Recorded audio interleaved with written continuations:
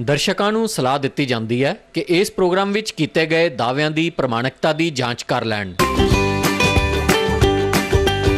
ਸਤਿ ਸ਼੍ਰੀ ਅਕਾਲ ਜੀ ਸਵਾਗਤ ਕਰਦੇ ਸਾਰੇ ਦਰਸ਼ਕਾਂ ਦਾ ਡੀਡੀ ਪੰਜਾਬੀ ਦੇ ਇਸ ਤੇ ਔਰ ਹਰ ਵਾਰ ਦੀ ਤਰ੍ਹਾਂ ਇੱਕ ਵਾਰ ਫਿਰ ਤੋਂ ਵੀਜ਼ਾ ਐਕਸਪਰਟ ਰਸਨ ਹਾਜ਼ਰ ਨੇ ਓਮ ਗਲੋਬਲ ਤੋਂ ਪੁਨੀਤ ਖੰਨਾ ਦੀ ਸੋ ਅ, 15 ਕੁ ਦਿਨ ਦਾ ਅੰਤਰਾਲ ਜ਼ਰੂਰ ਪਿਆ ਸੀ ਕਿਉਂਕਿ ਕੈਨੇਡਾ ਦੌਰੇ ਤੇ ਸੀ। ਕੈਨੇਡਾ ਬੱਚਿਆਂ ਨੂੰ ਮਿਲੇ ਕੈਨੇਡਾ ਕਾਲਜ ਯੂਨੀਵਰਸਿਟੀ ਨੂੰ ਮਿਲੇ ਔਰ ਕੋਸ਼ਿਸ਼ ਕਰਦੇ ਹਰ ਵਾਰ ਕਿ ਕੋਈ ਨਵੀਂ ਇਨਫੋਰਮੇਸ਼ਨ ਲੈ ਕੇ ਤੁਹਾਡੇ ਨਾਲ ਸਾਂਝੀ ਕੀਤੀ ਜਾ ਸਕੇ। ਇੱਕ ਵਾਰ ਫਿਰ ਤੋਂ ਸਵਾਗਤ ਕਰ ਲੈਂਦੇ ਹਾਂ ਪੁਨੀਤ ਖੰਨਾ ਜੀ ਦਾ ਓਮ ਗਲੋਬਲ ਤੋਂ। ਪੁਨੀਤ ਜੀ ਬਹੁਤ ਬਹੁਤ ਸਵਾਗਤ ਹੈ ਸ਼ੁਕਰੀਆ ਮਨੀਸ਼ ਜੀ ਸਾਰੇ ਦਰਸ਼ਕਾਂ ਨੂੰ ਮੇਰੇ ਵੱਲੋਂ ਪਿਆਰ ਭਰੀ ਸਤਿ ਸ਼੍ਰੀ ਅਕਾਲ। ਜੀ ਸੋ ਪੁਨੀਤ ਜੀ ਕੈਨੇਡਾ ਦੇ ਦੌਰੇ ਤੋਂ ਵਾਪਸ ਆਇਓ। ਜੀ। ਕਿਸ ਤਰ੍ਹਾਂ ਦੌਰਾ ਰਿਹਾ? ਕਿਵੇਂ ਕਾਲਜ ਯੂਨੀਵਰਸਿਟੀ ਨਾਲ ਮੁਲਾਕਾਤ ਹੋਈ? ਪੁਰਾਣੇ ਬੱਚਿਆਂ ਨੂੰ ਮਿਲੇ ਕੀ ਹਾਲਾਤ ਨੇ ਬੱਚਿਆਂ ਦੇ ਉੱਤੇ ਕੈਨੇਡਾ ਦੇ ਵਿੱਚ? ਦੇਖੋ ਕਈ ਕਾਲਜਸ ਕਈ ਯੂਨੀਵਰਸਿਟੀਜ਼ ਦੇ ਵਿੱਚ ਗਿਆ। ਖਾਸ ਕਰ ਜਿਹੜੇ ਸੋ ਕਾਲਡ ਐਸਪੀਪੀ ਕਾਲਜਸ ਨੇ ਉਹਨਾਂ ਦੇ ਵਿੱਚ ਗਿਆ ਤੇ ਜਾ ਕੇ ਇੱਕ ਤਰ੍ਹਾਂ ਅੱਖਾਂ ਖੁੱਲ ਗਈਆਂ ਉੱਥੇ ਕਿ ਐਕਚੁਅਲੀ ਸਟੂਡੈਂਟ ਦੇ ਨਾਲ ਹੁੰਦਾ ਕੀ ਪਿਆ ਇੱਕ ਕਾਲਜ ਜਿਹਦੇ ਵਿੱਚ 100 ਸੀਟਾਂ ਉਹਨੇ 150 ਬੱਚਾ ਉੱਥੇ ਸੱਦਿਆ ਹੋਇਆ। ਇੱਕ ਕਾਲਜ ਜਿਹਦੇ ਕੋਲ 150 ਸੀਟਾਂ ਉਹਨੇ 200 ਸੱਦਿਆ ਜਿਹਦੇ ਕੋਲ 200 ਹੈ ਉਹਨੇ 250 ਸੱਦਿਆ ਹੋਇਆ। So basically end of the day ਹੋ ਕੀ ਰਿਹਾ ਕਿ ਕਾਲਜ ਇਸੇ ਲਾਲਚ ਦੇ ਵਿੱਚ ਕਿ ਸ਼ਾਇਦ ਕਿਤੇ ਉਹਦੀਆਂ ਸੀਟਾਂ ਖਾਲੀ ਨਾ ਰਹਿ ਜਾਣ ਉਹ ਇਸੇ ਚੱਕਰ ਦੇ ਵਿੱਚ ਜੇ ਉਹਦੇ ਕੋਲ ਜਿੰਨੀ ਉਹਦੀ ਲਿਮਿਟ ਹੈਗੀ ਹੈ ਬੱਚੇ ਨੂੰ। ਪੜ੍ਹਾਉਣ ਦੀ ਜੋ ਉਹਦੀ ਕਪੈਸਿਟੀ ਹੈਗੀ ਹੈ ਸੀਟਾਂ ਦੀ ਉਸ ਤੋਂ ਦੁਗਣੇ ਦੁਗਣੇ ਸਟੂਡੈਂਟਸ ਉਸ ਤੋਂ ਡੇਢ ਗੁਣਾ ਸਟੂਡੈਂਟਸ ਉੱਥੇ ਬੁਲਾਏ ਹੋਏ ਆ ਇੱਕ ਕਾਲਜ ਗਿਆ ਟੋਰਾਂਟੋ ਜੀਟੀਏ ਰੀਜਨ ਦੇ ਵਿੱਚ ਉੱਥੇ ਜਿਹੜਾ ਸਟੂਡੈਂਟ ਐਨਰੋਲ ਹੋ ਗਿਆ ਉਸ ਸਟੂਡੈਂਟ ਐਨਰੋਲ ਹੋਣ ਤੋਂ ਬਾਅਦ ਜਦੋਂ ਉਹਨਾਂ ਨੇ ਐਨਰੋਲਮੈਂਟ ক্লোਜ਼ ਕਰਤੀ ਉਸ ਤੋਂ ਬਾਅਦ ਵੀ 100 ਸਵਾ ਸੌ ਸਟੂਡੈਂਟ ਇਦਾਂ ਦਾ ਸੀ ਵੱਖਰੇ ਵੱਖਰੇ ਕੋਰਸਸ ਚ ਆਇਆ ਜਿਹੜੇ ਸਟੂਡੈਂਟ ਨੂੰ ਕਾਲਜਸ ਨੇ ਮਨਾ ਕਰ ਦਿੱਤਾ ਕਿ ਅਸੀਂ ਤੁਹਾਨੂੰ ਹੁਣ ਐਡਮਿਸ਼ਨ ਨਹੀਂ ਦੇ ਸਕਦੇ ਇਸ ਇਨਟੇਕ ਦੇ ਵਿੱਚ ਤੁਸੀਂ ਅਗਲੇ ਇਨਟੇਕ ਚ ਦਾਖਲਾ ਲਿਓ। ਸਟੂਡੈਂਟ ਨੂੰ ਬਿਠਾ ਕੇ ਇੱਕ ਹਾਲ ਦੇ ਵਿੱਚ ਸਾਰਾ 50 100 ਸਟੂਡੈਂਟ ਇਕੱਠਾ ਕਰਕੇ ਉਹਨਾਂ ਨੂੰ ਆਪਸ਼ਨਾਂ ਦਿੱਤੀਆਂ ਜਾ ਰਹੀਆਂ ਕਿ ਤੁਹਾਡੇ ਕੋਲ ਤਿੰਨ ਆਪਸ਼ਨਾਂ ਨੇ ਜੀ। ਪਹਿਲੀ ਆਪਸ਼ਨ ਆਪਣੀ ਫੀਸ ਰੀਫੰਡ ਲੈ ਲਓ। ਸੋ ਕਾਲਜ ਦੇ ਵਿੱਚ ਸੀਟ ਨਹੀਂ ਹੈ ਇਸ ਕਰਕੇ। ਕਾਲਜ ਦੇ ਵਿੱਚ ਸੀਟ ਨਹੀਂ ਹੈਗੀ ਤੁਸੀਂ ਆਪਣੇ ਸਾਰੇ ਪੈਸੇ ਵਾਪਸ ਲੈ ਲਓ। ਹੁਣ ਇੱਕ ਬੱਚਾ ਜਿਹੜਾ ਪੜਨ ਗਿਆ ਉਹ ਫੀਸ ਰੀਫੰਡ ਲੈਣ ਨਹੀਂ ਗਿਆ ਉੱਥੇ ਪੜ੍ਹਾਈ ਕਰਨ ਗਿਆ ਉਹ ਫੀਸ ਰੀਫੰਡ ਕਿੱਦਾਂ ਲੈ ਲੇ? ਔਰ ਨਾਲੇ ਜੇ ਉਹ ਫੀਸ ਰੀਫੰਡ ਲੈ ਲਵੇ ਉਹ ਫੀਸ ਰੀਫੰਡ ਲੈ ਕੇ ਕਿੱਥੇ ਜਾਏ ਕਿਹੜੇ ਹੋਰ ਕਾਲਜ ਜਾਂ ਯੂਨੀਵਰਸਿਟੀ ਜਾਏ ਕਿਉਂਕਿ ਸਾਰੇ ਹੀ ਐਸਪੀਪੀ ਕਾਲਜਾਂ ਦਾ ਹਾਲ ਹੂੰ। ਦੂਸਰੀ ਆਪਸ਼ਨ ਉਹ ਸਟੂਡੈਂਟ ਨੂੰ ਇਹ ਦਿੱਤੀ ਜਾਂਦੀ ਹੈ ਕਿ ਤੂੰ ਆਪਣਾ ਕੋਰਸ ਡੈਫਰ ਕਰ ਲੈ ਸਤੰਬਰ ਇਨਟੇਕ ਤੱਕ ਲਈ। ਨਹੀਂ ਨੈਕਸਟ ਇਨਟੇਕ ਲਈ ਡੈਫਰ ਕਰ। ਨੈਕਸਟ ਇਨਟੇਕ ਲਈ ਤੂੰ ਆਪਣਾ ਕੋਰਸ ਡੈਫਰ ਕਰ ਲੈ ਕਿ ਇਸ ਇਨਟੇਕ 'ਚ ਸਾਡੇ ਕੋਲ ਸੀਟਾਂ ਭਰ ਗਈਆਂ। ਇਦਾਂ ਦੇ ਬੱਚਿਆਂ ਨੂੰ ਵੀ ਮੈਂ ਮਿਲਿਆ ਜਿਨ੍ਹਾਂ ਦਾ ਵੀਜ਼ਾ ਲੱਗਾ ਸੀਗਾ ਦਸੰਬਰ ਦੇ ਵਿੱਚ ਜਨਵਰੀ ਇਨਟੇਕ ਲਈ। ਉਹ ਬੱਚਾ ਜਨਵਰੀ ਇਨਟੇਕ 'ਚ ਉਹਨਾਂ ਨੇ ਟਰੈਵਲ ਨਹੀਂ ਕਰਨ ਦਿੱਤਾ ਕਿ ਜਨਵਰੀ ਇਨਟੇਕ 'ਚ ਸਾਡੇ ਕੋਲ ਸੀਟਾਂ ਫੁੱਲ ਹੋ ਗਈਆਂ। ਉਹਨੂੰ ਇੱਥੇ ਬੈਠੇ ਨੂੰ ਨਵੀਂ ਐਲਓ ਇਸ਼ੂ ਹੋਈ ਕਿ ਤੂੰ ਮਈ 'ਚ ਆ ਜੀ। ਹੁਣ ਉਹ ਬੱਚਾ ਮਈ ਇਨਟੇਕ ਦੇ ਵਿੱਚ ਉੱਥੇ ਗਿਆ। ਹੁਣ ਉਹਨਾਂ ਨੂੰ ਮਈ ਇਨਟੇਕ 'ਚ ਵੀ ਕਹਿ ਰਹੇ ਕਿ ਤੂੰ ਲੇਟ ਆਇਆ ਜਿਹੜੇ ਬੱਚੇ ਪਹਿਲਾਂ ਆ ਗਏ ਅਸੀਂ first come first serve basis ਤੇ ਉਹਨਾਂ ਨੂੰ ਸੀਟਾਂ ਦੇ ਦਿੱਤੀਆਂ। ਹੁਣ ਤੂੰ ਸਤੰਬਰ ਦੇ ਵਿੱਚ ਆ ਜੀ। ਇੱਕ ਸਟੂਡੈਂਟ ਇੰਨਾ ਕੁ ਖੱਜਲ ਹੋ ਰਿਹਾ ਇੰਨਾ ਕੁ ਖਰਾਬ ਹੋ ਰਿਹਾ ਉੱਥੇ ਜਾ ਕੇ। ਮੈਨੂੰ ਇਹ ਨਹੀਂ ਸਮਝ ਲੱਗਦੀ ਕਿ ਐਸਪੀਪੀ ਕਾਲਜਸ ਜਿਹੜੇ ਇੱਥੇ ਆ ਕੇ ਐਜੂਕੇਸ਼ਨ ਫੇਅਰਸ ਐਜੂਕੇਸ਼ਨ ਸੈਮੀਨਾਰ ਸਿੱਖਿਆ ਮੇਲੇ ਜੋ ਸਾਰਾ ਕੁਝ ਇਹ ਕਰ ਰਹੇ ਆ, ਬੱਚਿਆਂ ਨੂੰ ਲੈਣ ਲਈ ਕਿਉਂ ਕੀਤਾ ਜਾ ਰਿਹਾ ਜੇ ਉਹਦੇ ਕੋਲ ਆਲਰੇਡੀ ਇੰਨੇ ਐਕਸੈਸ ਦੇ ਵਿੱਚ ਨੰਬਰ ਹੈਗੇ ਆ? ਜਾਂ ਤਾਂ ਤੁਹਾਡੇ ਕੋਲ ਨੰਬਰਸ ਨਹੀਂ ਹੈਗੇ, ਤਾਂ ਤੁਸੀਂ ਉਸ ਬੱਚੇ ਨੂੰ ਲੈ ਰਹੇ ਹੋ। ਇੰਨੇ ਜ਼ਿਆਦਾ ਨੰਬਰਸ ਹੋਣ ਦੇ ਬਾਵਜੂਦ ਤੁਸੀਂ ਇੱਥੇ ਆ ਕੇ ਆਪਣੇ ਸੈਮੀਨਾਰ ਤੇ ਆਪਣੇ ਐਜੂਕੇਸ਼ਨ ਫੇਅਰ ਕਰਦੇ ਹੋ ਔਰ ਉਸ ਬੱਚੇ ਨੂੰ ਉੱਥੇ ਜਾ ਕੇ ਚੰਗੀ ਤਰ੍ਹਾਂ ਐਂਟਰਟੇਨਰ ਕੇਟਰ ਕਰਨ ਦੀ ਜਗ੍ਹਾ ਉਹਨੂੰ ਖੱਜਲ ਖਰਾਬ ਕਰ ਰਹੇ ਹੋ। ਫਿਰ ਬੱਚੇ ਨੂੰ ਉੱਥੇ ਬਿਠਾ ਕੇ ਕਹਿੰਦੇ ਆ ਕਿ ਅੱਜ ਹੀ ਡਿਸੀਜਨ ਦੇਣਾ ਪੈਣਾ ਤੈਨੂੰ ਤੂੰ ਕੀ ਕਰਨਾ? ਤੀਸਰੀ ਆਪਸ਼ਨ ਜਿਹੜੀ ਹੋਰ ਵੀ ਹੈਰਾਨੀ ਵਾਲੀ ਆਪਸ਼ਨ ਹੈ ਜਿਹੜੀ ਉਸ ਬੱਚੇ ਨੂੰ ਦਿੱਤੀ ਜਾ ਰਹੀ ਹੈ ਇੱਕ 6.5 ਬੈਂਡ ਵਾਲਾ ਬੱਚਾ ਇੱਕ 7 ਬੈਂਡ ਵਾਲਾ ਬੱਚਾ ਉਸ ਬੱਚੇ ਨੂੰ ਕਿਹਾ ਜਾਂਦਾ ਹੈ ਕਿ ਸਪਟੰਬਰ ਇਨਟੇਕ ਚ ਡੈਫਰ ਹੋ ਜਾ ਜਿਹੜਾ ਆਹ ਵਾਲਾ ਇਨਟੇਕ ਹੈਗਾ ਉਹਦੇ ਚ ਤੂੰ ਇੰਗਲਿਸ਼ ਪੜ੍ਹ ਲੈ। ਕਿ 1300 1500 ਡਾਲਰ ਸਾਡਾ ਇੰਗਲਿਸ਼ ਦੀ ਫੀਸ ਹੈ ਇੱਕ ਸਮੈਸਟਰ ਦੀ ਉਹ 13 1500 ਡਾਲਰ ਸਾਨੂੰ ਦੇ ਤੂੰ ਇੰਗਲਿਸ਼ ਪੜ੍ਹ ਲੈ। ਇੱਕ 6.5 ਬੈਂਡ ਵਾਲੇ ਬੱਚੇ ਨੂੰ ਕੀ ਉੱਥੇ ਜਾ ਕੇ ਇੰਗਲਿਸ਼ ਪੜ੍ਹਨ ਦੀ ਲੋੜ ਹੈ ਪਰ ਵੈਸੇ ਪੁਨੀਤ ਜੀ ਜਿਨ੍ਹਾਂ ਨੂੰ ਐਸਪੀਪੀ ਕਾਲਜ ਵਿੱਚ ਸੀਟ ਮਿਲੀ ਹੈ ਦੈਟ ਮੀਨਸ ਉਹ 6 ਓਵਰਆਲ 5.5 ਤੇ ਗਏ ਹੋਣਗੇ ਜਾਂ 6 ਈਚ ਤੇ ਗਏ ਹੋਣਗੇ। ਉਹਨਾਂ ਨੂੰ ਅੰਗਰੇਜ਼ੀ ਦੀ ਲੋੜ ਹੀ ਨਹੀਂ ਕਿਉਂਕਿ ਕਾਲਜ ਦੀ ਕੋਲ ਪੂਰੀ ਕਰ ਰਹੇ। ਇਹੀ ਚੀਜ਼ ਉਹ ਬੱਚਾ ਕਹਿ ਰਿਹਾ ਕਿ ਜਦ ਮੈਨੂੰ ਇੰਗਲਿਸ਼ ਦੀ ਮੇਰੀ ਰਿਕੁਆਇਰਮੈਂਟ ਮੀਟ ਹੁੰਦੀ ਹੈ ਫਿਰ ਮੈਂ ਦੁਬਾਰਾ ਇੰਗਲਿਸ਼ ਕਿਉਂ ਪੜਾਂ ਕਿਉਂ 6.5 ਬੈਂਡ ਵਾਲਾ ਬੱਚਾ 1300 ਡਾਲਰ ਹੋਰ ਭਰ ਕੇ 1300 ਡਾਲਰ ਦੀ ਜੇ ਕੈਲਕੂਲੇਸ਼ਨ ਕਰ ਲਈਏ ਤੇ ਤਕਰੀਬਨ ਤਕਰੀਬਨ 80 90000 ਰੁਪਏ ਬਣਦਾ। ਕਿਉਂ ਬੱਚਾ 80 90000 ਰੁਪਏ ਦੁਬਾਰਾ ਭਰ ਕੇ ਇਹਨਾਂ ਨੂੰ ਇੰਗਲਿਸ਼ ਪੜ੍ਹੇ? ਜਦੋਂ ਇੱਥੋਂ ਦੀ ਐਮਬੈਸੀ ਦੇ ਵਿੱਚ ਵੀਜ਼ਾ ਅਪਲਾਈ ਹੁੰਦਾ ਉਦੋਂ ਐਮਬੈਸੀ ਕਹਿੰਦੀ ਹੈ ਕਿ ਤੁਸੀਂ ਤਾਂ ਇੰਗਲਿਸ਼ ਹੋਮ ਕੰਟਰੀ 'ਚ ਹੀ ਪੜ੍ਹ ਸਕਦੇ ਹੋ 10000 'ਚ ਤੇ ਤੁਸੀਂ ਉੱਥੇ ਲੱਖ ਰੁਪਏ ਕਿਉਂ ਖਰਚਦੇ ਹੋ? ਹੁਣ ਉਹ ਕਾਲਜ ਕਿਉਂ ਨਹੀਂ ਸੋਚਦਾ ਕਿ ਉਹ ਬੱਚਾ ਲੱਖ ਰੁਪਏ ਕਿਉਂ ਖਰਚਦਾ? ਉਹਨੇ ਆਲਰੇਡੀ ਫੀਸ ਦਿੱਤੀ ਹੋਈ ਤੁਹਾਨੂੰ ਫਸਟ ਕਿ ਉਹਨੂੰ ਲੋੜ ਹੀ ਨਹੀਂ ਅੰਗਰੇਜ਼ੀ ਦੀ। ਉਹ ਆਪਣੀ ਜੀਆਈਸੀ ਦੇ ਕੇ ਗਿਆ ਹੋਇਆ ਸਾਰੇ ਖਰਚੇ ਕਰਕੇ ਗਿਆ ਹੋਇਆ ਹੁਣ ਉਹ ਤੁਹਾਨੂੰ 1300 ਡਾਲਰ ਕਿਉਂ ਦੇਵੇ ਉੱਥੇ ਇੰਗਲਿਸ਼ ਪੜ੍ਹਨ ਦੇ? ਸੋ ਇਹ ਸਾਰੀਆਂ ਚੀਜ਼ਾਂ ਜੋ ਜਿਹੜੀਆਂ ਹੈਗੀਆਂ ਬਹੁਤ ਹੈਰਾਨੀਜਨਕ ਔਰ ਬਹੁਤ ਪਰੇਸ਼ਾਨ ਕਰਨ ਵਾਲੀਆਂ ਬਹੁਤ ਸਾਰੇ ਸਟੂਡੈਂਟ ਮੈਂ ਮਿਲਿਆ ਵਾਂ ਸਟ੍ਰੈਸਡ ਨੇ ਇਸ ਚੀਜ਼ ਨੂੰ ਲੈ ਕੇ ਜਿਨ੍ਹਾਂ ਨੂੰ ਆਪਸ਼ਨ ਨਹੀਂ ਪਤਾ ਲੱਗ ਰਹੀ ਕਿ ਉਹ ਕੀ ਕਰਨ। ਕੋਈ ਪ੍ਰਾਈਵੇਟ ਕਾਲਜ ਬਾਰੇ ਸੋਚ ਰਿਹਾ ਕੋਈ ਹਾਂ ਇੰਗਲਿਸ਼ ਬਾਰੇ 6.5 ਬੈਂਡ ਵਾਲਾ ਬੱਚਾ 13 1300 ਡਾਲਰ ਜਮ੍ਹਾਂ ਕਰਾ ਕੇ ਇੰਗਲਿਸ਼ ਪੜ੍ਹਨ ਬਾਰੇ ਸੋਚ ਰਿਹਾ because he is left with no other options ਧਰਨੇ ਦਿੱਤੇ ਸਟੂਡੈਂਟਸ ਨੇ ਕਾਲਜਸ ਦੇ ਬਾਹਰ ਉੱਥੇ ਦੀ ਮੀਡੀਆ ਦੇ ਵਿੱਚ ਵੀ ਇਹ ਰਿਪੋਰਟਾਂ ਆਈਆਂ but end of the day result ਕੀ ਨਿਕਲਿਆ? ਜ਼ੀਰੋ ਔਰ ਇਹ ਐਸਪੀਪੀ ਕਾਲਜਸ ਦੀ ਮਨਮਾਨੀ ਉਦਾਂ ਦੀ ਉਦਾਂ ਹੀ ਚੱਲਦੀ ਰਹੀ। ਜੀ ਸੋ ਕੀ ਅੱਗੇ ਫਿਊਚਰ ਕੀ ਦੇਖਦੇ ਹੋ ਬੱਚਿਆਂ ਦਾ? ਠੀਕ ਹੈ ਬੱਚਿਆਂ ਕੋਲ ਤਿੰਨ ਆਪਸ਼ਨਸ ਨੇ ਜਾਂ ਤਾਂ ਬੱਚਾ ਅੰਗਰੇਜ਼ੀ ਸਿੱਖ ਲੇ ਜਾਂ ਆਪਣੀ ਫੀਸ ਵਾਪਸ ਲੈ ਲੇ ਤੇ ਜਾਂ ਜਿਹੜਾ ਨੈਕਸਟ ਇਨਟੇਕ ਲਈ ਡੈਫਰ ਹੋ ਜਾਏ ਜੇ ਬੱਚਾ ਨੈਕਸਟ ਇਨਟੇਕ ਲਈ ਡੈਫਰ ਵੀ ਹੁੰਦਾ ਹੈ ਤਾਂ ਇਸ ਚੀਜ਼ ਦੀ ਕੀ ਗਾਰੰਟੀ ਕਿ ਨੈਕਸਟ ਇਨਟੇਕ ਦੇ ਵਿੱਚ ਫਿਰ ਉਹਨੂੰ ਸੀਟਸ ਮਿਲ ਜਾਣਗੀਆਂ? ਬਿਲਕੁਲ ਸਹੀ ਗੱਲ ਹੈ। ਇੱਕ ਸਟੂਡੈਂਟ ਇਦਾਂ ਦਾ ਵੀ ਮਿਲਿਆ ਜੀ ਹੋਰ ਜੇ ਨੈਕਸਟ ਇਨਟੇਕ ਦੀ ਗੱਲ ਕਰ ਲਈਏ ਮੈਂ ਕੁੜੀ ਨੂੰ ਮਿਲਿਆ ਉੱਥੇ ਉਹ ਕੁੜੀ 3 ਸਮੈਸਟਰ ਇੱਕ ਕਾਲਜ ਦੇ ਵਿੱਚ ਪੜ੍ਹ ਚੁੱਕੀ ਆ। ਹੁਣ ਉਹਨੇ ਚੌਥੇ ਸਮੈਸਟਰ ਵਿੱਚ ਪੜ੍ਹਨਾ ਸੀਗਾ ਉਹਨੂੰ ਫੇਰ ਕਹਿ ਰਹੇ ਕਿ ਤੂੰ ਬ੍ਰੇਕ ਲੈ ਲੈ।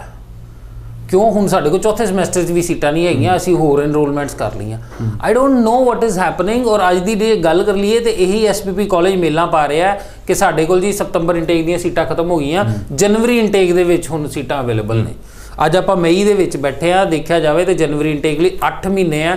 ਇੱਕ ਸਟੂਡੈਂਟ ਜਿਹੜਾ ਪੜ੍ਹਾਈ ਕਰਨਾ ਚਾਹੁੰਦਾ ਇੱਕ ਸਟੂਡੈਂਟ ਜਿਹੜਾ ਫਰੈਸ਼ ਪਲੱਸ 2 ਪਾਸ ਹੈਗਾ ਜਿਹੜਾ ਬਾਹਰ ਜਾ ਕੇ ਕੈਨੇਡਾ ਆਸਟ੍ਰੇਲੀਆ ਜਾਂ ਕੈਨੇਡਾ ਦੀ ਗੱਲ ਹੀ ਕਰ ਲਈਏ ਕੈਨੇਡਾ 'ਚ ਆਪਣਾ ਭਵਿੱਖ ਬਣਾਉਣਾ ਚਾਹੁੰਦਾ ਉਹ 8 ਮਹੀਨੇ ਕੀ ਕਰੇ? ਜਿਹੜਾ ਇੰਗਲਿਸ਼ ਦਾ ਲੈਵਲ ਜਿਹਦਾ ਚੰਗਾ ਹੈ, ਕੋਈ ਸੀਬੀਐਸਈ ਆਈਸੀਐਸਈ ਬੋਰਡ ਤੋਂ ਪੜਿਆ ਕੋਈ ਪੰਜਾਬ ਬੋਰਡ ਤੋਂ ਵਧੀਆ ਇੰਗਲਿਸ਼ ਦੇ ਲੈਵਲ ਦੇ ਨਾਲ ਉਹਨੇ ਵਧੀਆ ਪਰਸੈਂਟੇਜ ਨਾਲ ਪੰਜਾਬ ਬੋਰਡ ਪਾਸ ਕੀਤੀ ਹੈ ਉਹ ਬੱਚਾ ਕਿੱਥੇ ਜਾਵੇ ਉਹਦੇ ਕੋਲ ਕੀ ਆਪਸ਼ਨ ਛੱਡੀ ਹੈ ਕੀ ਉਹ ਜਨਵਰੀ ਇਨਟੇਕ ਦੀ ਵੇਟ ਕਰੇ? ਸੋ ਬਹੁਤ ਸਾਰੀ ਲੌਬਿੰਗ ਉੱਥੇ ਵੀ ਹੋ ਰਹੀ ਹੈ ਜਿਹੜੀ ਕੈਨੇਡੀਅਨ ਗਵਰਨਮੈਂਟ ਨੂੰ ਇਹ ਕਹਿਣ ਦੀ ਕੋਸ਼ਿਸ਼ ਕਰ ਰਹੇ ਆ ਲੋਕ ਕਿ ਐਸਪੀਪੀ ਦੀ ਜਾਂ ਤਾਂ ਰੇਂਜ ਵਧਾਓ ਕਿ ਐਸਪੀਪੀ ਦੇ ਅੰਦਰ ਹੋਰ ਕਾਲਜ ਲੈ ਕੇ ਆਓ ਜਾਂ ਜਿਹੜੇ ਬਾਕੀ ਕਾਲਜਸ ਆ ਉਹਨਾਂ ਨੂੰ ਵੀ ਕੋਈ ਪੋਸਟ ਪ੍ਰੋਬਲਮ ਪਿੱਛੇ ਜੇ ਵੀ ਆਈ ਸੀ ਕਿ ਸਤੰਬਰ 2018 ਦੇ ਵਿੱਚ ਐਸਪੀਪੀ ਕਾਲਜ ਜਿਹੜੇ ਸੈਟੇਲਾਈਟ ਕੈਂਪਸ ਨੇ ਉਹ ਬੰਦ ਹੋ ਜਾਣਗੇ। ਸੋ ਸੈਟੇਲਾਈਟ ਕੈਂਪਸ ਬੰਦ ਹੋਣ ਕਰਕੇ ਵੀ ਪ੍ਰੋਬਲਮ ਆ ਜਾ ਸਕਦੀ ਹੈ। ਦੇਖੋ ਹਜੇ ਤੱਕ ਕੋਈ ਸੈਟੇਲਾਈਟ ਕੈਂਪਸ ਬੰਦ ਨਹੀਂ ਹੋਏ। ਫਿਰ ਦੈਟ ਮੀਨਸ ਬੱਚੇ ਬੱਚੇ ਐਕਸੈਸ ਵਿੱਚ ਚਲੇ ਗਏ ਉੱਥੇ? ਬੱਚੇ ਐਕਸੈਸ ਵਿੱਚ ਚਲੇ ਗਏ ਕਾਲਜਾਂ ਨੇ ਜਿੰਨੀ ਜਿੰਨੀ ਲੋਡ ਸੀ ਜਿੰਨੀ ਉਹਨਾਂ ਦੀ ਭੁੱਖ ਸੀ ਉਸ ਤੋਂ ਵੱਧ ਬੱਚੇ ਲੈ ਲਏ ਉਹਨਾਂ ਨੇ। ਇਸੇ ਚੱਕਰ ਦੇ ਵਿੱਚ ਲੈ ਲਿਆ ਕਿ ਪਤਾ ਨਹੀਂ ਸ਼ਾਇਦ ਰਿਜ਼ਲਟ ਮਾੜਾ ਆਊਗਾ ਜਾਂ ਕਿਸ ਤਰ੍ਹਾਂ ਕਿਸ ਬੇਸਿਸ ਤੇ ਆਪਣੀ ਐਲਓ ਇਸ਼ੂ ਕਰਦੇ ਆ। ਕੋਈ ਚੈੱਕ ਨਹੀਂ ਹੈਗਾ ਇਹਨਾਂ ਤੇ ਕੋਈ ਸਰਕਾਰੀ ਚੈੱਕ ਨਹੀਂ ਹੈਗਾ। ਕਿਸੇ ਤਰ੍ਹਾਂ ਦਾ ਉਹ ਸਟੂਡੈਂਟ ਨੂੰ ਆਪਸ਼ਨ ਕੀ ਬਚਦੀ ਹੈ ਕਿ ਉਹ ਪ੍ਰਾਈਵੇਟ ਕਾਲਜ ਦੇ ਵਿੱਚ ਸ਼ਿਫਟ ਹੋਣ ਨੂੰ ਫਿਰਦਾ। ਤਾਂ ਪ੍ਰਾਈਵੇਟ ਦੇ ਬੱਚੇ ਨੂੰ ਵੀ ਪੋਸਟ ਸਟੱਡੀ ਵਰਕ ਨਹੀਂ ਸਭ ਤੋਂ ਵੱਡੀ ਪ੍ਰੋਬਲਮ ਇਹ ਹੈ ਕਿ ਇੱਕ ਸਟੂਡੈਂਟ ਪ੍ਰਾਈਵੇਟ ਕਾਲਜ ਦੇ ਵਿੱਚ ਸ਼ਿਫਟ ਹੁੰਦਾ ਉਹ ਪ੍ਰਾਈਵੇਟ ਪ੍ਰਾਈਵੇਟ ਕਾਲਜ ਦੇ ਵਿੱਚ ਜਦੋਂ ਪੜ੍ਹਾਈ ਕਰ ਲੈਂਦਾ ਪੜ੍ਹਾਈ ਮੁਕਾਨ ਤੋਂ ਬਾਅਦ ਉਹਨੂੰ ਪੋਸਟ ਸਟੱਡੀ ਵਰਕ ਵੀਜ਼ੇ ਦੇ ਧੱਕੇ ਖਾਣੇ ਪੈਂਦੇ ਆ ਉਹਦੇ ਕੋਲ ਆਪਸ਼ਨ ਨਹੀਂ ਬਚਦੀ। ਸੋ ਐਂਡ ਆਫ ਦੀ ਡੇ ਕਿਸੇ ਵੀ ਤਰ੍ਹਾਂ ਨਾਲ ਇਹਨਾਂ ਪ੍ਰਾਈਵੇਟ ਕਾਲਜਸ ਤੋਂ ਮੇਰੇ ਖਿਆਲ ਨਾਲ ਫਿਲਹਾਲ ਤਾਂ 8 ਮਹੀਨੇ ਵੈਸੇ ਹੀ ਛੁੱਟੀ ਮਿਲ ਗਈ। ਕਿਉਂ? ਕਿਉਂਕਿ ਇਹ ਕਹਿੰਦੇ ਸਾਡੇ ਕੋਲ ਸੀਟਾਂ ਨਹੀਂ ਹੈਗੀਆਂ। ਸੋ ਜਿਹੜੀ ਆਪਸ਼ਨ ਉੱਥੇ ਜਾ ਕੇ ਜਾਂ ਜਿਹੜੀ ਚੀਜ਼ ਉੱਥੇ ਜਾ ਕੇ ਲੈ ਕੇ ਆਂਦੀ ਆ ਉਹ ਇਹ ਹੈ ਕਿ ਤੁਸੀਂ ਕੈਨੇਡਾ ਜਾਣਾ ਚਾਹੁੰਦੇ ਹੋ ਤੁਹਾਡੀਆਂ ਰਿਕੁਆਇਰਮੈਂਟਸ ਜਿਹੜੀਆਂ ਹੈਗੀਆਂ ਇੱਕ ਸਟੂਡੈਂਟ ਦੀਆਂ ਕੀ ਰਿਕੁਆਇਰਮੈਂਟਸ ਹੁੰਦੀਆਂ ਉਹ ਰਿਕੁਆਇਰਮੈਂਟ ਸਭ ਤੋਂ ਪਹਿਲੀ ਹੁੰਦੀ ਹੈ ਕਿ ਫੀਸ ਬਹੁਤ ਜ਼ਿਆਦਾ ਨਾ ਹੋਵੇ। ਅਨਲਾਈਕ ਯੂਨੀਵਰਸਿਟੀਜ਼ ਕਈ ਯੂਨੀਵਰਸਿਟੀਜ਼ ਦੀ ਫੀਸ ਬਹੁਤ ਜ਼ਿਆਦਾ ਹੈ। ਇੱਕ ਠੀਕ ਠਾਕ ਫੀਸ ਹੋਵੇ ਐਸਪੀਪੀ ਕਾਲਜਸ 'ਚ ਫੀਸ ਜ਼ਿਆਦਾ ਨਹੀਂ ਹੈਗੀ ਜਾਂ ਪ੍ਰਾਈਵੇਟ ਕਾਲਜਸ 'ਚ ਵੀ ਫੀਸ ਨਹੀਂ ਹੈਗੀ। ਜੀ ਸੋ ਇੱਕ ਵਾਰ ਫਿਰ ਤੋਂ ਦੱਸ ਦਿੰਦੇ ਕਿ ਓਮ ਗਲੋਬਲ ਤੋਂ ਵੀਜ਼ਾ ਐਕਸਪਰਟ ਪੁਨੀਤ ਖੰਨਾ ਜੀ ਸਾਡੇ ਨਾਲ ਗੱਲਬਾਤ ਕਰ ਰਹੇ ਨੇ। ਕਿਸੇ ਵੀ ਤਰ੍ਹਾਂ ਦਾ ਕੋਈ ਸਵਾਲ ਪੁੱਛਣਾ ਚਾਹੁੰਦੇ ਹੋ ਕਾਲ ਕਰ ਸਕਦੇ ਹੋ 90235 11277 ਨੰਬਰ ਤੇ। 9023511277 ਸੋ ਪੁਰੀ ਜੀ ਪ੍ਰੋਬਲਮਸ ਆ ਰਹੀਆਂ ਨੇ ਬੱਚਿਆਂ ਨੂੰ। ਸੋ ਇੱਕ ਵੀਜ਼ਾ ਐਕਸਪਰਟ ਉਹੀ ਹੈ ਜਿਹੜਾ ਪ੍ਰੋਬਲਮਸ ਤੋਂ ਬੱਚੇ ਨੂੰ ਓਵਰਕਮ ਕਰੇ ਪ੍ਰੋਬਲਮਸ ਤੋਂ ਕੱਢ ਕੇ ਬਾਹਰ ਲੈ ਕੇ ਆਵੇ। ਸੋ ਓਮ ਗਲੋਬਲ ਕੀ ਕਰ ਸਕਦਾ ਬੱਚਿਆਂ ਲਈ ਜਿਹੜੇ ਬੱਚੇ ਉੱਥੇ ਪ੍ਰੋਬਲਮ ਵਿੱਚ ਬੈਠੇ ਨੇ ਜਾਂ ਫਿਰ ਇੱਥੋਂ ਜਾਣਾ ਚਾਹੁੰਦੇ ਨੇ? ਔਰ ਗੱਲਾਂ ਪਤਾ ਸੁਣ ਕੇ ਕਿਤੇ ਨਾ ਕਿਤੇ ਬੱਚੇ ਨਿਰਾਸ਼ ਹੋ ਜਾਣਗੇ ਕਿ ਜੇਕਰ ਕੈਨੇਡਾ ਅਸੀਂ ਜਾਈਏ ਸਾਨੂੰ ਵੀ ਇਹ ਹਾਲਾਤ ਫੇਸ ਨਾ ਕਰਨੇ ਪੈਣ। ਦੇਖੋ, ਸਭ ਤੋਂ ਪਹਿਲਾਂ ਤਾਂ ਉੱਥੇ ਬੈਠੇ ਬੱਚੇ ਦੀ ਗੱਲ ਕਰ ਲਈਏ। ਮਨੀਸ਼ ਜੀ ਨੇ ਬੜਾ ਵਧੀਆ ਮੁੱਦਾ ਚੱਕਿਆ ਕਿ ਜਿਹੜਾ ਸਟੂਡੈਂਟ ਉੱਥੇ ਬੈਠਾ, ਸਭ ਤੋਂ ਪਹਿਲਾਂ ਤਾਂ ਉਹਦਾ ਖਿਆਲ ਕਰ ਲਈਏ, ਚਾਹੇ ਉਹ ਮੇਰੇ ਕੋਲੋਂ ਗਿਆ, ਚਾਹੇ ਉਹ ਕਿਸੇ ਵੀ ਏਜੰਟ, ਕਿਸੇ ਵੀ ਕੰਸਲਟੈਂਟ ਕੋਲੋਂ ਗਿਆ, ਉਸ ਸਟੂਡੈਂਟ ਨੂੰ ਜਿਹੜੀ ਪ੍ਰੋਬਲਮ ਆ ਰਹੀ, ਉਸ ਪ੍ਰੋਬਲਮ ਦਾ ਹੱਲ ਕੀ ਹੈ ਅਸੀਂ ਅੱਗੇ ਵੀ ਆਪਣਾ ਕੈਨੇਡਾ ਦਾ ਨੰਬਰ ਕੈਨੇਡਾ ਆਫਿਸ ਦਾ ਨੰਬਰ ਦਿੱਤਾ, ਹਰਿਤ ਗਾਬਾ ਜੋ ਕਿ ਆਈਸੀਸੀਆਰਸੀ ਮੈਂਬਰ ਨੇ ਉੱਥੇ। ਅੱਜ ਵੀ ਉਹ ਨੰਬਰ ਤੁਹਾਡੀ ਸਕਰੀਨ ਤੇ ਡਿਸਪਲੇ ਹੋ ਰਿਹਾ। ਉਸ ਨੰਬਰ ਦੇ ਉੱਤੇ ਕਾਲ ਕਰ ਲਓ, ਉਸ ਨੰਬਰ ਦੇ ਉੱਤੇ ਫੋਨ ਕਰੋ ਉਹਨਾਂ ਨਾਲ ਆਪਣੀ ਪ੍ਰੋਬਲਮ ਡਿਸਕਸ ਕਰੋ, ਦੱਸੋ ਤੁਹਾਨੂੰ ਕੀ ਪ੍ਰੋਬਲਮ ਹੈ, ਕਿਹੜੇ ਕਾਲਜ ਆਏ ਸੀ, ਕੀ ਕੀ ਕੀ ਆਪਸ਼ਨਸ ਨੇ? ਇੱਕ ਸਟੂਡੈਂਟ ਨੂੰ ਕੀ ਕੀ ਚਾਹੀਦਾ ਹੁੰਦਾ? ਇੱਕ ਸਟੂਡੈਂਟ ਨੂੰ ਚਾਹੀਦਾ ਕਿ ਉਹਦੀ ਫੀਸ ਬਹੁਤ ਜ਼ਿਆਦਾ ਨਾ ਹੋਵੇ। ਦੂਸਰੀ ਰਿਕੁਆਇਰਮੈਂਟ ਸਟੂਡੈਂਟ ਦੀ ਇਹ ਹੁੰਦੀ ਹੈ ਕਿ ਉਹਦੀਆਂ ਕਲਾਸਾਂ 5-7 ਦਿਨ ਨਾ ਲੱਗਣ, ਘੱਟੋ ਘੱਟ ਡੇਜ਼ ਚ ਕਲਾਸਾਂ ਲੱਗਣ ਸੋ ਦੈਟ ਉਹ ਜਿਹੜਾ ਪਾਰਟ ਟਾਈਮ ਵਰਕ ਉਹਨੂੰ ਮਿਲਦਾ, ਉਹ ਆਪਣਾ ਕੰਮ ਕਰ ਸਕੇ ਰੈਗੂਲਰਲੀ ਤੀਜੀ ਆਪਸ਼ਨ ਉਹ ਸਟੂਡੈਂਟ ਦੀ ਕੀ ਹੈ? ਕਿ ਉਹ ਜਦੋਂ ਪੜ੍ਹਾਈ ਖਤਮ ਕਰ ਲੈਂਦਾ, ਉਹਨੂੰ ਪੜ੍ਹਾਈ ਤੋਂ ਬਾਅਦ ਪੋਸਟ ਸਟੱਡੀ ਵਰਕ ਵੀਜ਼ਾ ਮਿਲੇ। ਇਹ ਤਿੰਨੋਂ ਆਪਸ਼ਨਸ ਅਵੇਲੇਬਲ ਨੇ। ਇਹ ਤਿੰਨੋਂ ਆਪਸ਼ਨਸ ਦੇ ਵਿੱਚ ਸਟੂਡੈਂਟ ਜਿਹੜਾ ਕੈਨੇਡਾ 'ਚ ਬੈਠਾ, ਜੇ ਉਹ ਪੜ੍ਹਨਾ ਚਾਹੁੰਦਾ, ਉਹ ਜੂਨ ਦੇ ਵਿੱਚ, ਜੁਲਾਈ ਦੇ ਵਿੱਚ ਉਹਦੀ ਐਡਮਿਸ਼ਨ ਹੋਏਗੀ। ਉਹ ਜਾ ਕੇ ਉੱਥੇ ਉਸ ਕਾਲਜ ਦੇ ਵਿੱਚ ਪੜ੍ਹ ਸਕਦਾ ਜਿਹਦੇ ਵਿੱਚ ਉਹਨੂੰ ਪੋਸਟ ਸਟੱਡੀ ਵਰਕ ਵੀਜ਼ਾ ਮਿਲੇਗਾ ਜਿਹਦੇ 'ਚ ਉਹਨੂੰ ਟਾਈਮ ਮਿਲੇਗਾ ਕਿ ਉਹ ਪਾਰਟ ਟਾਈਮ ਕੰਮ ਕਰ ਸਕੇ ਔਰ ਫੀਸ ਯੂਨੀਵਰਸਿਟੀ ਵਾਂਗਰ ਜ਼ਿਆਦਾ ਨਹੀਂ ਹੋਊਗੀ। ਇਨਫੈਕਟ ਐਸਪੀਪੀ ਕਾਲਜਸ ਨਾਲੋਂ ਵੀ ਫੀਸ ਘੱਟ ਹੈਗੀ ਹੈ। ਇਦਾਂ ਇਦਾਂ ਦੀ ਆਪਸ਼ਨਸ ਉੱਥੇ ਤੁਸੀਂ ਹਰਿਤ ਗਾਬਾ ਜੀ ਨੂੰ ਫੋਨ ਕਰਕੇ ਉਹਨਾਂ ਨਾਲ ਗੱਲ ਕਰਕੇ ਆਪਣਾ ਕੇਸ ਡਿਸਕਸ ਕਰਕੇ ਆਪਣੀ ਆਪਸ਼ਨਸ ਲੈ ਸਕਦੇ ਜੀ ਸੋ ਜਿਹੜਾ ਬੱਚਾ ਤੋਂ ਪੰਜਾਬ ਤੋਂ ਜਾਣਾ ਚਾਹੁੰਦਾ ਹੁਣ ਜਿਹੜਾ ਬੱਚਾ ਇੱਥੋਂ ਜਾਣਾ ਚਾਹੁੰਦਾ ਉਸ ਬੱਚੇ ਦੀ ਸਭ ਤੋਂ ਪਹਿਲੀ ਰਿਕੁਆਇਰਮੈਂਟ ਕੀ ਹੈ ਕਿ ਸਟੂਡੈਂਟ ਆਂਦਾ ਕਿ ਸਟੂਡੈਂਟ ਆ ਕੇ ਕਹਿੰਦਾ ਭਾਜੀ ਮੈਂ ਐਸਪੀਪੀ ਕਾਲਜ 'ਚ ਹੀ ਜਾਣਾ ਮੇਰੇ ਕੋਲ ਹੋਰ ਕੋਈ ਚਾਰਾ ਨਹੀਂ ਹੈਗਾ ਜੀ। ਜੇ ਮੈਂ ਐਸਪੀਪੀ ਚ ਜਾਊਂਗਾ ਤਾਂ ਮੈਨੂੰ ਉੱਥੇ ਪੋਸਟ ਸਟੱਡੀ ਵਰਕ ਵੀਜ਼ਾ ਮਿਲੂਗਾ। ਯੂਨੀਵਰਸਿਟੀ ਜਾਊਂਗਾ ਫੀਸ ਬਹੁਤ ਜ਼ਿਆਦਾ ਹੋ ਸਕਦਾ ਮੇਰੇ ਤੋਂ, ਮੇਰੇ ਘਰਦਿਆਂ ਤੋਂ ਅਫੋਰਡ ਨਾ ਹੋਵੇ। ਫਿਰ ਸਟੂਡੈਂਟ ਦੀ ਪ੍ਰੈਫਰੈਂਸ ਕੀ ਹੈ ਕਿ ਮੈਂ ਜਾਣਾ ਹੀ ਟੋਰਾਂਟੋ ਚਾਹਨਾ ਮੈਂ ਜਾਣਾ ਹੀ ਵੈਨਕੂਵਰ ਚਾਹਨਾ ਸਟੂਡੈਂਟ ਕੋਈ ਵੀ ਨਹੀਂ ਇਦਾਂ ਦਾ ਹੈਗਾ ਜਿਹੜਾ ਆ ਕੇ ਕਵੇ ਕਿ ਜੀ ਮੈਂ ਨਿਊ ਬ੍ਰੰਜ਼ਵਿਕ ਜਾਣਾ ਹੈ ਜਾਂ ਮੈਂ ਮੌਂਟਰੀਅਲ ਜਾਣਾ ਹੈ। ਮੌਂਟਰੀਅਲ ਜਾਣਾ ਹੈ ਜਾਂ ਮੈਂ ਸਸਕੈਚੇਵਨ ਜਾਣਾ ਹੈ ਇਦਾਂ ਦਾ ਸਟੂਡੈਂਟ ਨਹੀਂ ਹੈਗਾ ਸੋ ਉਹ ਸਾਰੇ ਸਟੂਡੈਂਟ ਲਈ ਵੀ GTA ਜਿਹੜਾ ਰੀਜਨ ਹੈਗਾ ਵਾ ਗ੍ਰੇਟਰ ਟੋਰਾਂਟੋ ਏਰੀਆ ਜਿਹਨੂੰ ਕਹਿੰਦੇ ਆ ਟੋਰਾਂਟੋ ਬ੍ਰੈਂਪਟਨ ਮਿਸੀਸਾਗਾ ਉਸ ਰੀਜਨ ਦੇ ਵਿੱਚ ਤੁਹਾਨੂੰ ਆਪਸ਼ਨਸ ਅਵੇਲੇਬਲ ਨੇ ਸਟੂਡੈਂਟ ਲਈ ਦੁਬਾਰਾ ਦੱਸ ਰਿਹਾ ਕਿ ਤਿੰਨ ਚੀਜ਼ਾਂ ਮੁੱਖ ਜਿਹੜੀਆਂ ਸਟੂਡੈਂਟ ਨੂੰ ਚਾਹੀਦੀਆਂ ਹੁੰਦੀਆਂ ਜੇ ਉਹ ਪੰਜਾਬ ਤੋਂ ਵੀ ਅੱਜ ਦੀ ਡੇਟ 'ਚ ਵੀ ਜਾਣਾ ਚਾਹੁੰਦਾ ਹੈ ਉਹ ਸਪਟੈਂਬਰ ਇਨਟੇਕ ਦੇ ਵਿੱਚ ਜਾ ਸਕਦਾ ਹੈ ਪੋਸਟ ਸਟੱਡੀ ਵਰਕ ਵੀਜ਼ਾ ਮਿਲੂਗਾ ਪੜ੍ਹਾਈ ਦੇ ਵਿੱਚ ਜਿਹੜਾ ਪੜ੍ਹਾਈ ਦੇ ਨਾਲ ਨਾਲ ਕੰਮ ਕਰਨ ਦੀ ਪਰਮਿਸ਼ਨ ਹੈ ਉਹ ਨਾਲ ਮਿਲੂਗੀ ਫੀਸ ਜਿਹੜੀ ਹੋਊਗੀ ਉਹ ਐਸਪੀਪੀ ਕਾਲਜ ਨਾਲੋਂ ਵੀ ਘੱਟ ਹੋਏਗੀ। ਸੋ ਇਹ ਸਾਰੀਆਂ ਆਪਸ਼ਨਸ ਅਵੇਲੇਬਲ ਹੈਗੀਆਂ ਤੁਸੀਂ ਜਾਣਾ ਚਾਹੁੰਦੇ ਹੋ ਜਾ ਸਕਦੇ ਹੋ। ਜੇ ਕੋਈ ਸਟੂਡੈਂਟ ਅੱਜ ਦੀ ਡੇਟ 'ਚ ਵੀ ਸੋਚਦਾ ਕਿ ਨਹੀਂ ਮੈਂ ਐਸਪੀਪੀ ਕਾਲਜ ਵਿੱਚ ਹੀ ਜਾਣਾ ਹੈ ਤੇ ਵੀਰ ਜੀ, ਤੁਹਾਡਾ ਰੱਬ ਹੀ ਰੱਖਾ ਕਿਉਂਕਿ ਹੋ ਸਕਦਾ ਤੁਸੀਂ ਇੱਥੋਂ ਵੀਜ਼ਾ ਲਵਾ ਲਓ। ਪਹਿਲਾਂ ਤਾਂ ਇੱਥੇ ਲੜਾਈ ਸ਼ੁਰੂ ਹੋ ਜਾਣੀ ਹੈ ਕਿ ਤੁਹਾਨੂੰ ਸੀਟ ਮਿਲਦੀ ਹੈ ਕਿ ਨਹੀਂ ਮਿਲਦੀ। ਦੂਸਰਾ, ਜੇ ਸੀਟ ਮਿਲ ਜਾਂਦੀ ਹੈ, ਉਸ ਤੋਂ ਬਾਅਦ ਤੁਸੀਂ ਵੀਜ਼ੇ ਦੇ ਪਿੱਛੇ ਲੱਗ ਜਾਣਾ। ਜੇ ਵੀਜ਼ਾ ਮਿਲ ਜਾਂਦਾ ਉੱਥੇ ਜਾ ਕੇ ਵੀ ਪਤਾ ਨਹੀਂ ਉਹਨਾਂ ਨੇ ਤੁਹਾਨੂੰ ਐਨਰੋਲ ਕਰਨਾ ਕਿ ਨਹੀਂ ਐਨਰੋਲ ਕਰਨਾ। ਤਾਂ ਐਂਡ ਤੁਹਾਨੂੰ ਇਹੀ ਕਹਿਤਾ ਜਾਵੇ ਕਿ ਨਹੀਂ ਜੀ ਸਾਡੇ ਕੋਲ 100 ਬੰਦਿਆਂ ਦੀ ਸੀਟਾਂ ਸੀ। ਪਹਿਲਾਂ ਜਿਹੜੇ 100 ਆ ਗਏ ਅਸੀਂ ਉਹਨਾਂ ਨੂੰ ਬਿਠਾ ਲਿਆ ਅਸੀਂ ਉਹਨਾਂ ਦੀ ਪੜ੍ਹਾਈ ਸ਼ੁਰੂ ਕਰਾਤੀ ਹੈ ਹੁਣ ਤੁਸੀਂ ਅਗਲੇ ਇਨਟੇਕ ਦੇ ਵਿੱਚ ਆਈਓ ਜੇ ਉਹ 'ਚ ਵੀ ਤੁਸੀਂ ਲੇਟ ਹੋ ਗਏ ਤੇ ਅਗਲੇ ਇਨਟੇਕ ਦੇ ਵਿੱਚ ਵੀ ਨਹੀਂ ਫਿਰ ਉਸ ਤੋਂ ਅਗਲੇ ਇਨਟੇਕ ਚਾਹੀਓ।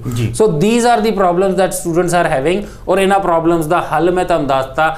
ਅੱਜ ਵੀ ਸੀਟਾਂ ਅਵੇਲੇਬਲ ਨੇ ਐਸਪੀਪੀ ਨੂੰ ਦਿਮਾਗ ਚੋਂ ਕੱਢ ਦਿਓ ਐਸਪੀਪੀ ਕਾਲਜਸ ਨੂੰ ਦਿਮਾਗ ਚੋਂ ਕੱਢ ਦਿਓ। ਜਿਹੜੀਆਂ ਤੁਹਾਨੂੰ ਤਿੰਨ ਆਪਸ਼ਨਾਂ ਚਾਹੀਦੀਆਂ ਉਹ ਤਿੰਨੋਂ ਆਪਸ਼ਨ ਸਟੂਡੈਂਟ ਨੂੰ ਅਵੇਲੇਬਲ ਹੈਗੀਆਂ, ਕਿਸੇ ਵੀ ਬ੍ਰਾਂਚ ਵਿਜ਼ਿਟ ਕਰੋ, ਉੱਥੇ ਜਾ ਕੇ ਇਹਨਾਂ ਆਪਸ਼ਨਸ ਬਾਰੇ ਜਾਣਕਾਰੀ ਲੈ ਸਕਦੇ ਜੀ, ਸੋ ਜਨਵਰੀ ਟੇਕ ਨੂੰ ਕਿਸ ਤਰ੍ਹਾਂ ਵੇਖਦੇ ਹੋ? ਸਤੰਬਰ ਸੈਸ਼ਨ ਲਈ ਤਾਂ ਦਰਵਾਜ਼ੇ ਬੰਦ ਕਰ ਦਿੱਤੇ ਗਏ ਆ ਕਾਲਜਸ ਵੱਲੋਂ। ਜਨਵਰੀ ਸੈਸ਼ਨ ਲਈ ਡਿਮਾਂਡਸ ਕਰ ਰਹੇ ਨੇ ਕਿ ਹੁਣ ਲੈਟਰਸ ਦਿਓ। ਕੀ ਲੱਗਦਾ ਕਿ ਬੱਚੇ ਜਨਵਰੀ ਸੈਸ਼ਨ ਲਈ ਵੇਟ ਕਰਨ? ਜਾਂ ਫਿਰ ਜਿਹੜੀ ਆਪਸ਼ਨ ਤੁਸੀਂ ਦੇ ਰਹੇ ਹੋ, ਜਾਂ ਫਿਰ ਯੂਨੀਵਰਸਿਟੀ ਦੀ ਬਹੁਤ ਸਾਰੀ ਆਪਸ਼ਨਸ ਨੇ ਜਿਹੜੀਆਂ ਹਜੇ ਜੁਲਾਈ ਇਨਟੇਕ ਬੱਚਿਆਂ ਨੂੰ ਦੇ ਰਹੀ ਨੇ। ਬੱਚਾ ਉਹਨਾਂ ਨੂੰ ਪ੍ਰੈਫਰ ਕਰੇ। ਕਿਉਂ ਵੇਟ ਕਰੇ ਬੱਚਾ ਜਨਵਰੀ ਇਨਟੇਕ ਤੱਕ? ਸਿਰਫ SPP ਦੇ tag ਸਿਰਫ ਐਸਪੀਪੀ ਦੇ ਟੈਗ ਨੂੰ।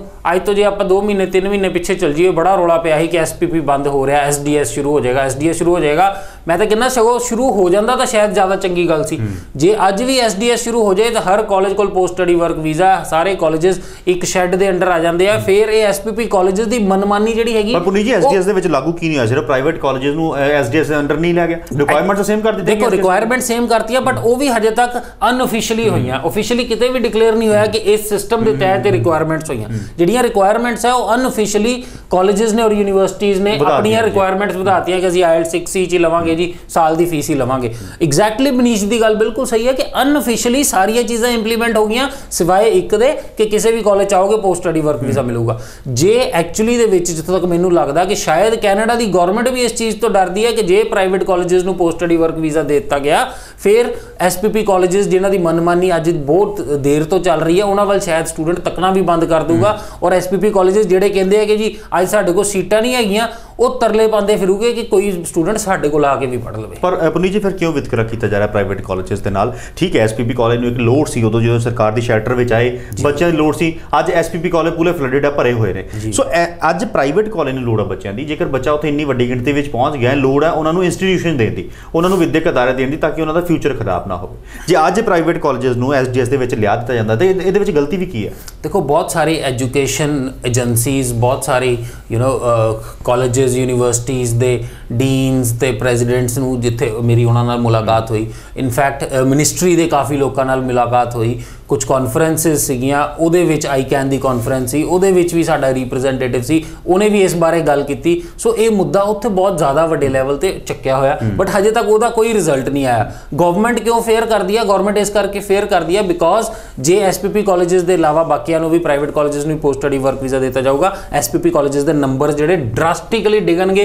ਕੋਈ ਵੀ ਸਟੂਡੈਂਟ ਉਹਨਾਂ ਵੱਲ ਤੱਕਣਾ ਨਹੀਂ ਚਾਹੂਗਾ। ਸੋ ਜਦੋਂ ਨੰਬਰ ਡਿਗਣਗੇ ਉਹ ਗਵਰਨਮੈਂਟ ਕਾਲਜਸ ਨੇ ਗਵਰਨਮੈਂਟ ਦੀ ਫੰਡਿੰਗ ਉਹਨਾਂ ਨੂੰ ਵਧੂਗੀ। ਸੋ ਗਵਰਨਮੈਂਟ ਦੇ ਜਿਹੜਾ ਰੈਵਨਿਊ ਹੈ ਉਹਦੇ ਤੇ ਫ਼ਰਕ ਪਊਗਾ ਕਿ ਗਵਰਨਮੈਂਟ ਦਾ ਜਿਹੜਾ ਖਰਚਾ ਉਹ ਵੱਧ ਜਾਊਗਾ। ਸੋ ਇਹ ਇੱਕ ਕੰਸੀਡਰੇਸ਼ਨਸ ਹੋ ਸਕਦੀਆਂ। ਜਿੱਥੋਂ ਤੱਕ ਜੇ ਆਪਾਂ ਗੱਲ ਕਰੀਏ ਤੇ 3 ਮਹੀਨੇ ਪਹਿਲਾਂ ਪ੍ਰਾਈਮ ਮਿਨਿਸਟਰ ਟਰੂਡੋ ਜਦੋਂ ਇੰਡੀਆ ਆਏ ਸੀ ਤਾਂ ਬੜਾ ਉਹਨਾਂ ਨੇ ਕਿਹਾ ਸੀਗਾ ਕਿ ਜੀ ਇੰਡੀਅਨ ਸਟੂਡੈਂਟ ਦੀ ਫਰਸਟ ਪ੍ਰੈਫਰਡ ਡੈਸਟੀਨੇਸ਼ਨ ਹੋਣੀ ਚਾਹੀਦੀ ਹੈ ਕੈਨੇਡਾ ਉਹ ਕਿਸ ਤਰ੍ਹਾਂ ਹੋਊਗੀ ਕੈਨੇਡਾ ਪ੍ਰੈਫਰਡ ਡੈਸਟੀਨੇਸ਼ਨ ਜਦ ਤੱਕ ਤੁਹਾਡੇ ਕੋਲ ਨੰਬਰ ਆਫ ਸੀਟਸ ਅਵੇਲੇਬਲ ਨਹੀਂ ਹੋਊਗੀਆਂ। ਜਦ ਤੱਕ ਉਹ ਸਟੂਡੈਂਟ ਨੂੰ ਉੱਥੇ ਜਾ ਕੇ ਖੱਜਲ ਖਰਾਬੀ ਨਹੀਂ ਕਰਨੀ ਪਊਗੀ ਜਦ ਤੱਕ ਉਹ ਸਟੂਡੈਂਟ ਨੂੰ ਇਹ ਨਹੀਂ ਭਰੋਸਾ ਹੋਊਗਾ ਕਿ ਹਾਂ ਮੈਂ ਉੱਥੇ ਜਾਊਂਗਾ ਜਾ ਕੇ ਐਨਰੋਲ ਹੋਊਂਗਾ ਆਪਣੀਆਂ ਕਲਾਸਾਂ ਸਟਾਰਟ ਕਰੂੰਗਾ ਆਪਣੀ ਪੜ੍ਹਾਈ ਕਰੂੰਗਾ ਔਰ ਉਸ ਤੋਂ ਬਾਅਦ ਆਪਣਾ ਫਿਊਚਰ ਪਲਾਨ ਸ਼ੁਰੂ ਕਰ ਦੂੰਗਾ ਜਦੋਂ ਸਟੂਡੈਂਟ ਨੂੰ ਜਾ ਕੇ 6 ਮਹੀਨੇ ਵਿਹਲਾ ਬਹਿਣਾ ਪਊਗਾ 6 ਮਹੀਨੇ ਉਹਨੂੰ ਇਹ ਨਹੀਂ ਪਤਾ ਕਿ ਉਹਨੇ ਕਰਨਾ ਕੀ ਹੈ ਕਿ 6.5 ਬੈਂਡ ਲੈ ਕੇ ਵੀ ਇੰਗਲਿਸ਼ ਕੋਰਸ ਦੇ ਵਿੱਚ ਉਹਨੇ ਅਹ, ਦਾਖਲਾ ਲੈਣਾ then there are no options but the government has to take some step ਤਾਂ ਕਿ ਇਹ ਪੰਜਾਬੀ ਸਟੂਡੈਂਟ ਜਾਂ ਹੋਰ ਵੀ ਜਿਹੜੀ ਸਟੇਟਸ ਤੋਂ ਜਾਂ ਹੋਰ ਕੰਟਰੀਜ਼ ਤੋਂ ਜਿਹੜਾ ਸਟੂਡੈਂਟ ਜਾ ਰਿਹਾ ਉਹਨੂੰ ਇਹ ਖੱਜਲ ਖਰਾਬੀ ਨਾ ਹੋ ਜੀ ਪਰ ਅ, ਕੈਨੇਡਾ ਬਾਰੇ ਜਿਹੜੀ ਤੁਸੀਂ ਇਨਫੋਰਮੇਸ਼ਨ ਦੇ ਰਹੇ ਹੋ ਉਹ ਚਿੰਤਾ ਦਾ ਵਿਸ਼ਾ ਜ਼ਰੂਰ ਹੈ ਖਾਸ ਕਰ ਉਹਨਾਂ ਬੱਚਿਆਂ ਨੇ ਜਿਨ੍ਹਾਂ ਨੇ ਪਲੱਸ 2 ਹੁਣ ਪਾਸ ਕੀਤੀ ਹੈ ਪਹਿਲੀ ਗੱਲ ਤਾਂ 65% ਰਿਜ਼ਲਟ ਆਇਆ ਪੰਜਾਬ ਦਾ ਜੀ। ਉਹਦੇ ਵਿੱਚੋਂ 65% ਤੋਂ ਜੇ ਬੱਚੇ ਜਿਹੜੇ ਬਾਹਰ ਜਾਣਾ ਚਾਹੁੰਦੇ ਨੇ ਹੁਣ ਉਹਨਾਂ ਨੇ ਆਇਲਸ ਦੀ ਤਿਆਰੀ ਸ਼ੁਰੂ ਕਰ ਦਿੱਤੀ। ਸੋ ਇਹ ਆਇਲਸ ਦੀ ਤਿਆਰੀ ਕਰੀਬ ਜੁਲਾਈ ਅਗਸਤ ਤੱਕ ਜਾ ਕੇ ਐਗਜ਼ਾਮ ਦੇਣਗੇ ਬੱਚਿਆਂ ਦੇ ਰਿਜ਼ਲਟ ਆਉਣਗੇ। ਬੱਚਿਆਂ ਨੇ ਸੋਚਿਆ ਸੀ ਕਿ ਜੁਲਾਈ ਅਗਸਤ ਤੱਕ ਅਮੂਮਨ ਜਿਹੜਾ ਸਤੰਬਰ ਸੈਸ਼ਨ ਮਿਲ ਜਾਂਦਾ ਪਰ ਮੰਦਭਾਗੀ ਗੱਲ ਕੀ ਹੈ ਕਿ ਸਤੰਬਰ ਸੈਸ਼ਨ ਫੁੱਲ ਹੋ ਚੁੱਕਾ ਹੈ।